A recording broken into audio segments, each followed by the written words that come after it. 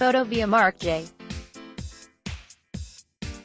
Rebilas, USA Today Sports Images mini site winning more Super Bowls, defying father time and general love of the game as the main reasons for Tom Brady still football playing in his 40s.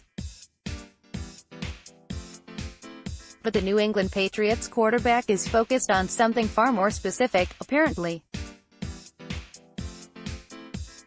In an Instagram post Friday afternoon, Brady shared a video of himself sprinting on a beach with a resistance band around his waist.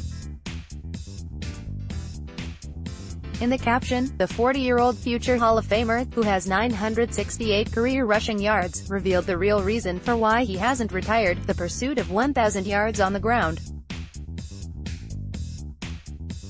You can click here to view Brady's video. Okay so the main reason I'm still playing is I haven't hit 1,000 career rushing yards yet. Brady wrote.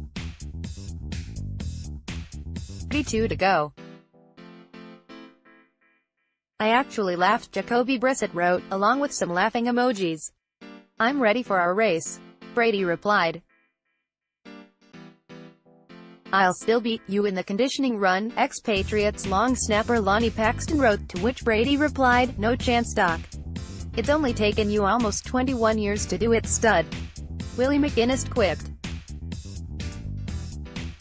NBA guard Isaiah Thomas also shared his two cents, saying, looking quick TB lol. There were many more reactions, including one from Mark Wahlberg, but you get the idea.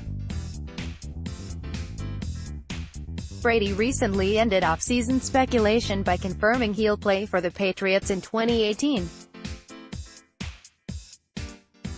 As for his pursuit of 1,000 rushing yards, it might seem like a tall order for the slow-footed QB to rack up 32 in a season, but would you doubt him? Click here for 2018 fantasy football rankings greater than greater than.